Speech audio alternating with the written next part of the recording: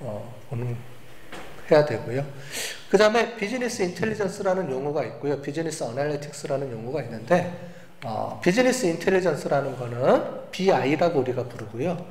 어, 그래서 비즈니스에서 발생한 데이터를 수집하고 저장하고 분석하는 인프라 관점에서 얘기를 할 때 우리가 배웠던 뭐 데이터베이스, warehouse, data mart, 뭐 Hadoop, 뭐 그다음에 분석 플랫폼 이런 얘기를 할 때 business intelligence라고 어, 표현을 하고 그거를 가지고 데이터를 분석하는 측면에서 보면 business analytics.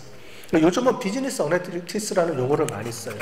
옛날에는 BI라는 용어를 많이 썼는데 옛날에는 이 BI를 이 두 가지를 다 통합해서 BI라고 불렀어요. 굳이 뭐 인프라냐 이게 아니고 이 전체를 그냥 BI라고 불렀는데 요즘은 이제 구분하면서 또 자꾸 구분하면서 BA라는 용어를 더 많이 쓰더라고요. business analytics라는 용어를. 그래서 그거를 이제 데이터 분석하는 거를 주로 나타내 준다라고 보시면 되겠어요. 그러니까 얘는 인프라, 어떤 그런 구축 인프라고 얘는 그거를 그 안에서 데이터를 분석하는 것을 나타낸다. 이렇게 보시면 되겠습니다. 아까 전에 봤던 오라클에서 나오는 business intelligence enterprise 이런 것들을 통해서 오라클 DB에 저장이 되어 있는 것들을 갖고 와서 분석해서 이렇게 보여주는 그런 것들이 있다는 거고요. SAP에서 있는 이제 business intelligence tool이에요. 그러니까 오라클도 있고 아까 전에 SAP 봤죠? 저기 나왔는 거 독일 그 할 때 나온 거 봤으니까 거기도 이제 이런 tool들이 존재하는 거죠. 그러니까 각각의 다 이런 tool들이 그 ERP, SCM, 그 다음에 뭐 C, 어, CRM 이런 거 있으면 거기에 다 이렇게 같이 붙여져서 분석할 수 있는 tool들이 위에 얹혀져 있어요. 왜냐하면 운영하다 보면 운영하는 거에 따라서 분석을 해줘야 되기 때문에 운영하려 그러면 국내 비즈니스 어널리틱스 소프트웨어 시장의 규모에 대해서 이제 조사됐던 겁니다. 그래서 2016년도에 나온 건데 계속 증가하고 있다. 이렇게 보여지는 거죠. 뭐, 그 정도만 이해하시면 되고요. 어, 비즈니스 인텔리전스 환경에는 총 6가지 정도가 이렇게 있다라고 보는 거죠. 그래서 비즈니스 환경에 대한 데이터가 있어야 되고, 그죠? 그래서 각각의 데이터들이 이렇게 들어와야 되죠. 그리고 콜센터에서 들어오는 데이터, 그 다음에 웹사이트를 통해서 들어오는 데이터, 단말기 통해서 들어오는 데이터들이 있으면 이런 데이터들이 들어와서 intelligence 이런 데이터베이스나 이런 쪽에 저장이 되고 그런 것들이 분석 도구에 의해서 분석이 돼서 관리자가 이거를 통해서 전략이나 이런 거에 이제 사용하게 되고 그게 결국은 운영하려면은 아까 전에 어널리틱스하고 오퍼레이션하고 돌아가면서 계속 반복된다 그랬죠? 운영됐던 것들이 분석이 돼서 다시 운영 시스템으로 저장이 돼서 모델화돼서 다시 들어가고 이런 얘기들을 하는 거예요. 이제 그걸 가지고 최종적으로 사용자가 인터페이스를 통해서 어 이제 보고서로 볼 수도 있고 아니면은 대시보드로 나올 수도 있고 그렇습니다.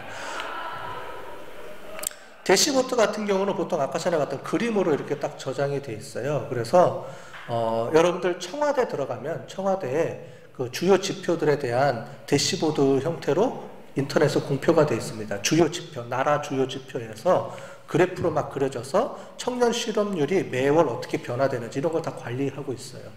혹시 들어가 보시면 이제 그런 게 돼 있는데 그런 것들을 우리가 대시보드라고 합니다.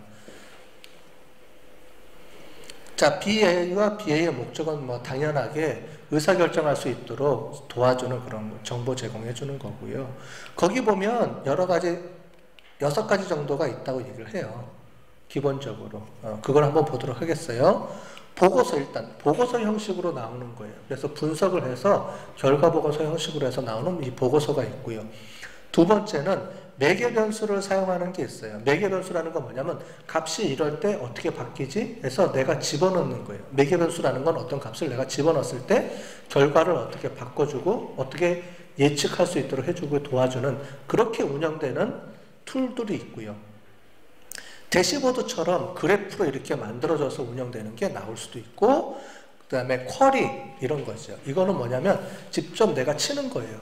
SQL 쿼리나 이런 걸 날려서 통해서 받아들이는 거예요. 보통 data mart나 이런 CRM 분석 tool들이 이런 기능들을 제공합니다. 어, 그 다음에 drill down, drill up 해서 어, 서울시, 그 다음에 서울시의 1월달 거, 1월달에 1월 1일 거 매출액 이런 식으로 계속 점점 점점 좁혀 나가면서 이제 내용을 보게 하는 drill down이 있고요. 그 다음에 예측하는 거. 만약에 가정을 하는 거죠. 민감도 분석이라든가 뭐 이런 게 있어요. 하나씩 하나씩 보도록 하겠습니다. 인텔리전스 사용자에서 보이는 것처럼 실제로는 여러분들이 기업에 들어가면 가장 많이 보는 게 이제 생산 보고서죠. 그래서 매출액이라든가 이런 생산 보고서라든가 이런 걸 통해서 하고요. 그 다음에 이제 올라가면 올라갈수록 이제 고급 분석가들이나 고위 경영자들이 이제 이런 걸 보고 하게 되는 거죠. 이런 게 있다라고 보시고 어, 넘어가도록 하겠습니다. 생산 보고서 가장 많이 사용되는 산출물이죠. 대부분 어, 어떤 그 분석을 하게 되면 보고서가 쫙 해서 정리가 돼서 나오면 그걸 가지고 여러분들이 의사결정할 수 있도록 만들어주는 거니까 그래서 판매하면은 판매 예측 보고서라든가 성과 보고서 뭐 이런 것들이 자연스럽게 보고서가 당연히 그 툴들에 의해서 나오겠죠 이런 것들을 보시면 되고요 그 다음에 매개 변수를 하는 보고서 같은 경우는 이런 겁니다 그래서 여러분들이 이제 피벗 탭을 많이 보시죠 피벗 탭을 같은 경우에 엑셀에서도 쓸 수 있죠. 엑셀에서도 보면 오른쪽에 피벗 탭을 뭐 해보셨으면 알 거예요. 여기다 어떤 값들을 대체를 해서 집어넣으면 그 값들에 의해서 바뀌거나 이렇게 움직이죠. 그런 것처럼 매개 변수라는 거는 어떤 값들을 조정해 줄 수 있게 만들어 준 거예요. 음, 그거에 따라서 바꿔주는 거를 매개 변수를 사용할 수 있도록 해주는 거죠.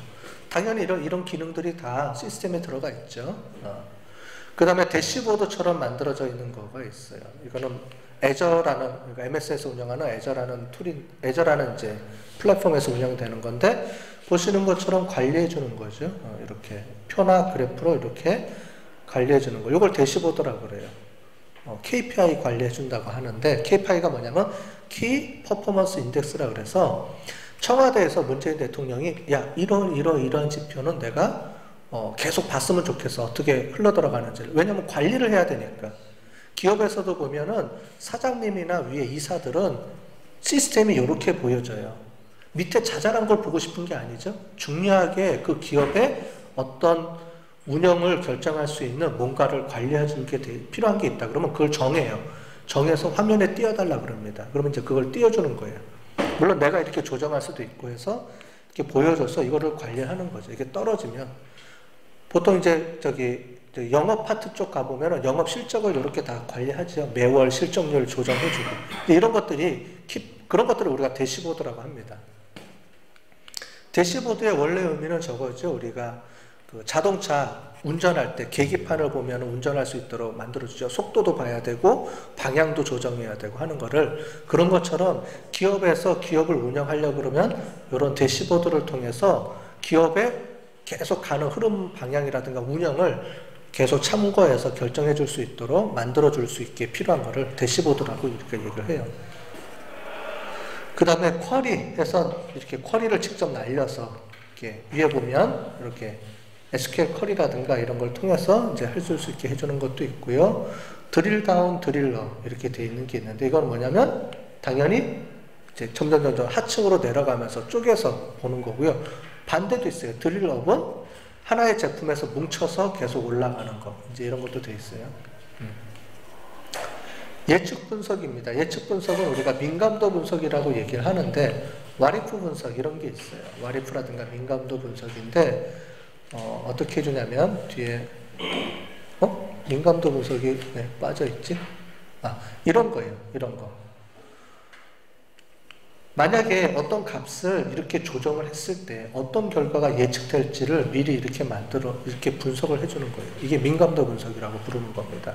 뭐냐면 내가 매출액, 그러니까 광고비를 1억을 투자했을 때 매출액이 어느 정도 나오지? 그러면 2억을 투자하면 그럼 어떻게 바뀌지? 3억을 투자하면 어떻게 바뀌지? 이런 것들을 민감도 분석을 통해서 이렇게 다 보여주게 되는 거예요. 그래서 자기가 의사결정을 하는 거죠. 아, 그러면 요 정도 선에서 내가 해줘야 되겠다. 이렇게. 해주는 것을 나타내 주는 겁니다.